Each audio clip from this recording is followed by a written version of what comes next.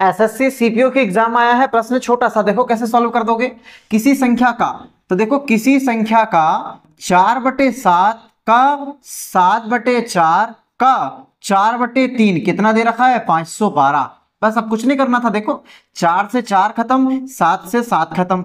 चार से भाग लगाओगे यहाँ पर तो चार एकम चारा एक बचा आपके सामने, चार दुना, आठ, तीन बचा, चार अठे बत्तीस। अब x का मान निकालोगे तो एक सौ अट्ठाईस दिया करना तो आप देखो, आठ दिया चौबीस, कितना बचा? दो। बारह दिया छत्तीस और दो आ जाएगा अड़तीस, यानी कि आ जाएगा तीन सौ चौरासी। ऑप्शन नंबर सी धन्यवाद।